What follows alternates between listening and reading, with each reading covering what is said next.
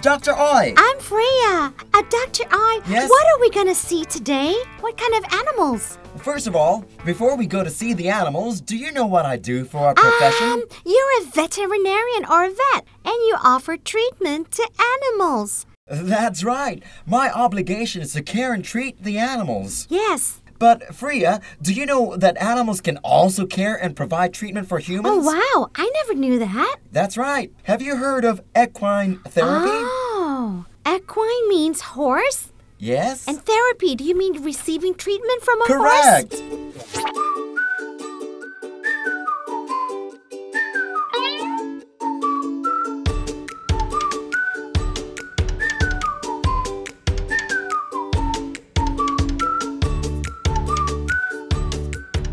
We're here, Freya. Wow, lots of horses. Horses everywhere, Freya. Look. oh, wow. Do you know who are suitable to receive equine therapy treatment? Well, why not find the answers from an expert? Freya, I'd like to, you to meet Dr. Kai. Hi. Hi. This is Hi. Freya. Nice to meet you. Freya has many questions to Yes, ask you. please Go Um, ahead. yes, equine therapy can be used for grown-ups also? Yes, equine therapy can be used with grown ups, but our treatment is mainly used with children, especially to improve the potential of children with special needs. Does Thailand have a large number of children with special needs? Well, due to the present social changes in Thailand, there is an increasing number of children with special needs. Well, you asked her about children with special needs. Do you know what that means? What are special children? Let's ask Dr. Goy. Could you tell us the definition of children with special needs? Who are they? Well, children with special needs are children that have abilities which are different from other children's. And some abilities need to be improved. Uh, well, for example, a person with autism has to learn how to socialize and to communicate with other uh-huh. people because they don't have eye contact with uh-huh. people. When they like to do something, they just keep doing it over mm. and over again. There's repetitive behavior. Another kind is ADHD or attention you know deficit about attention hyperactivity deficit? No, I disorder. don't. And children with ADHD find it very Uh-huh. difficult to adapt. The characteristics of mm. children with ADHD mm. are that they're disorderly and unable to complete their work. Another group involves children with um, a learning disability or LD. It's not easy to identify these children, That's quite hard to identify. but they cannot differentiate between pictures and letters. And then there are children with Down syndrome. They have uh, flat facial features or upward slanting eyes. And the last group is uh, children who suffer from cerebral palsy. They have difficulty in the control of their voluntary muscles.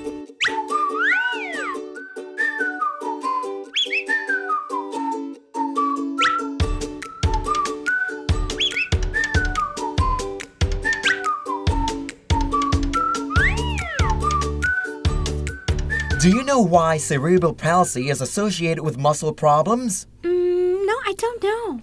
Because our nervous system controls every muscle. If the brain has a problem, the muscle cannot receive the signal from the nervous system. This leads to poor muscle control and the body functions. That's right. We also see patients who suffer violent convulsions, then, and that would be dangerous for them to go on the Uh-huh. horses. So we're very selective. it would be dangerous. Yeah. Well, think about it. If they go on the horse and they have too much tension in riding the horse, they can fall off and get hurt. So we have to look after them carefully throughout the treatment. What about the ages? At what age can they start treatment? We start from 5 up to 13 years Uh, from old. ages 5 to 13. Freya, are you curious what horses are suitable for these children? Yes, I want to know. Uh, Dr. Guy, which one do you think is suitable for me? Okay, why don't we go ask the horse doctor? Okay. He knows. Good idea. F- Freya, let's follow Dr. Guy.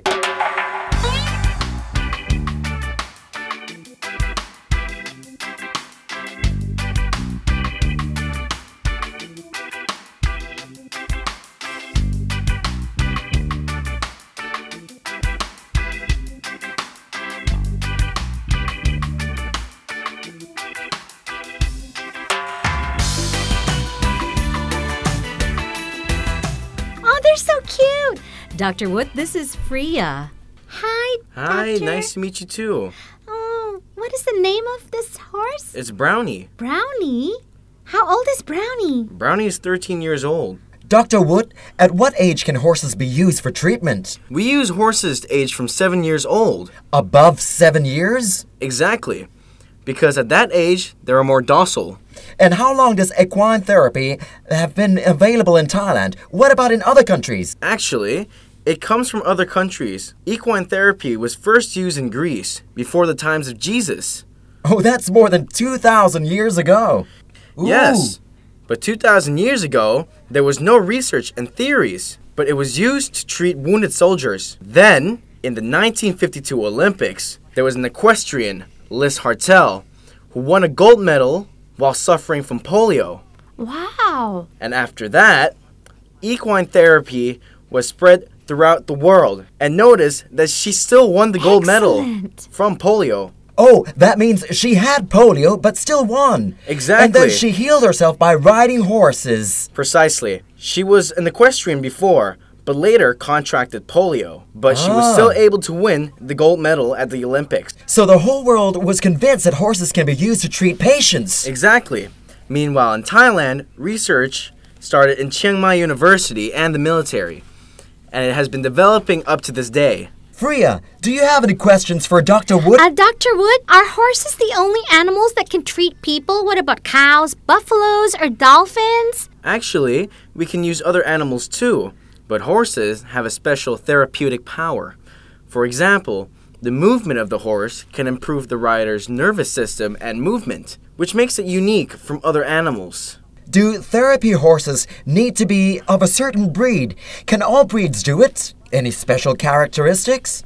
Uh, horse breeds are loosely divided based on general temperament, such as hot bloods. Hot blood means hot tempered? Yes, the hot bloods are quite aggressive, Oh, aggressive. so they are not commonly used in therapy. Meanwhile, Mm-hmm. the warm bloods and cold bloods are calmer than hot bloods. And another group is based on their height, which includes horses and ponies. Do you know what a pony is? Ponies are smaller, right? Good job! A pony is a small horse that measures a height of less than 14.2 hands. A hand is used to measure the height of a horse. Horses usually measure over 14.2 hands.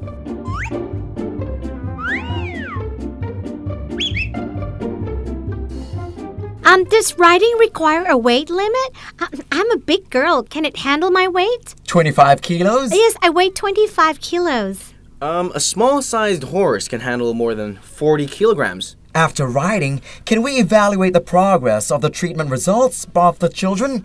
After the ride or during the ride of the course? Well, actually, we evaluate patients even before riding. Oh, that begins right away. Yes, and after that, Dr. Wood checks to see if the riders are afraid of the horse or allergic to dust. The riders try riding for about 15 minutes to get mm-hmm. acquainted with the horse, and then we will create a program that suits the particular rider's needs and to focus on what we want them to develop. And then after completing the first half of the course, we evaluate their improvement. Oh, like a midterm exam. Yes, passing midterm tests and then continuing to the Oh. final tests. Yes. Evaluate the final results. Yes, and then we continue the treatment after a month. I'm wondering, Freya, do you like horses? Yes, I think so. Do you know how to spell horse? Yes, H O R S E.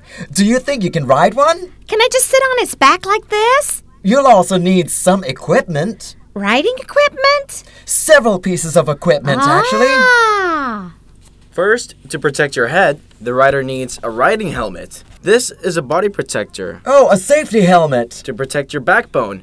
And this is a bridle, a two colored bridle. Wow, it's so colorful. Right. Right, It's cute. isn't it?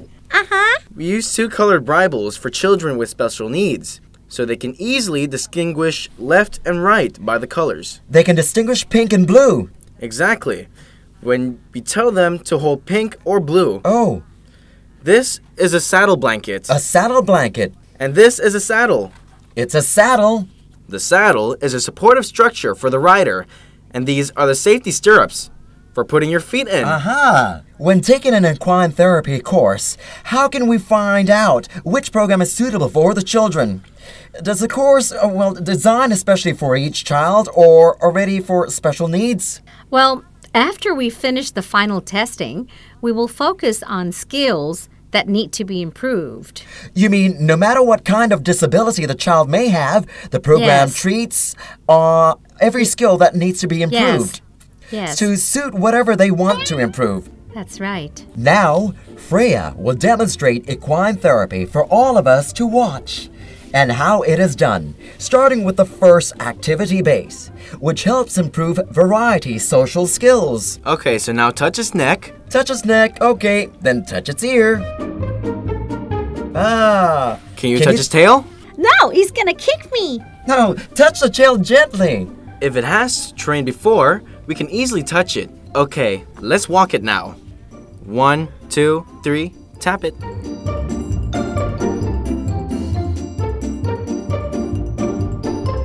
The second and third bases involve language and math skills.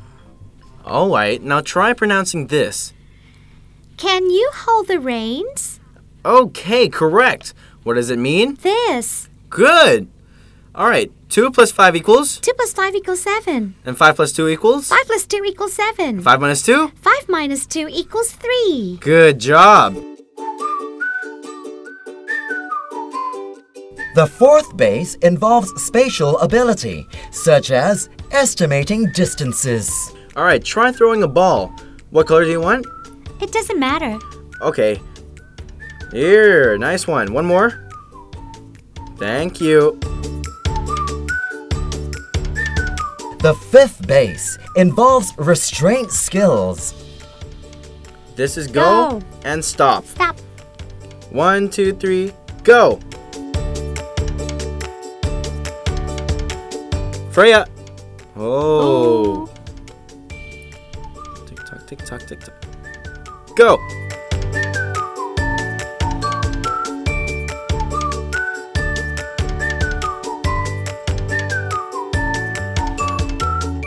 The sixth base is balancing activity. Right hand on the shoulder. Left hand on the shoulder. Two hands on the head. On the waist. Stretch your hands out for five seconds. One, two, three, four, five. Moreover, we can add some fun activities that appeal to the children. Blow. Wow, well done. One, two, three, ho.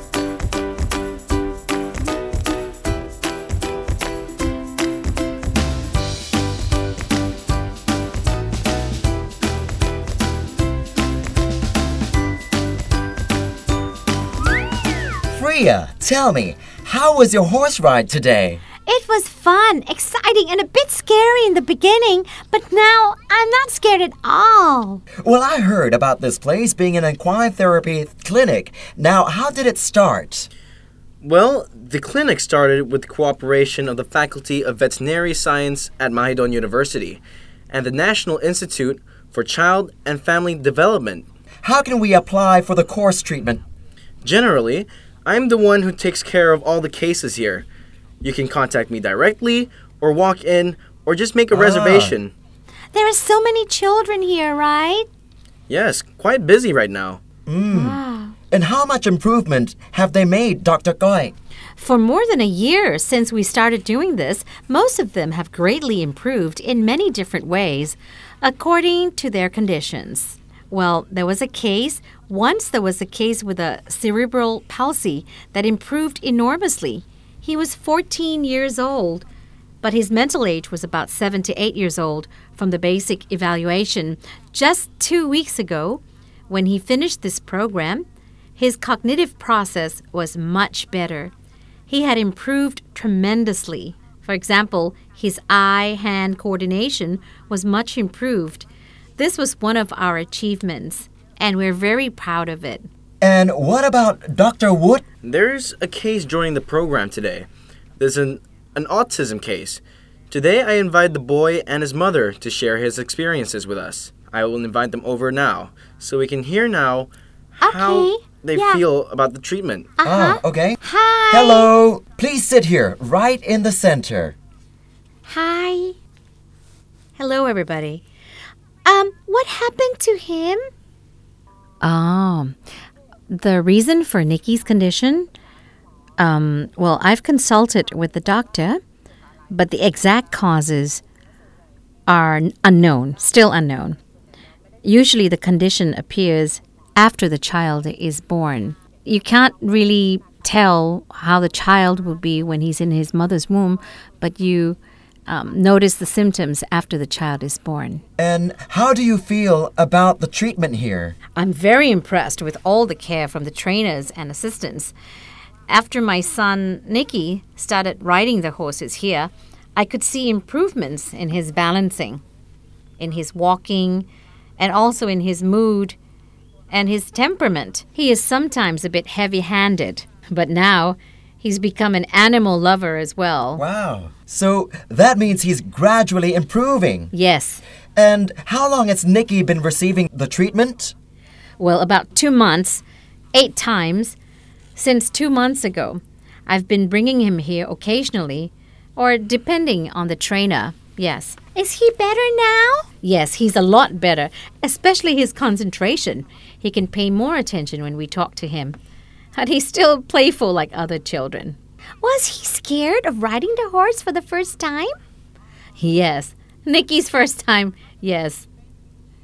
He was a bit agitated and screamed since it was the first time he saw a real horse. He was frightened and clenched his muscles while touching it. But Dr. Wood helped him to gradually become familiar with the horse until he could ride it. So, do you think equine therapy works? Yes, it really does, especially for physical strength, posture, movement, balancing, and interaction with animals. It's like he's been healed by horses, mm-hmm. such as how to sit, straighten his back, and responds to action now. Yeah. He's he's he's he's coordinating with the animal. What about human interaction? Has it improved? Yes, he was slow to respond in the beginning, but it has improved now. So, he's now finished the first course. Are you planning for his next course? Yes, we're creating a new course for him. Like But- gradually improving his skills, little by little, step by step, and so on, right? correct. Continuing previous skills and adding new skills as well. Would you please say something to our audience about the therapy? Well, equine therapy is a fun activity.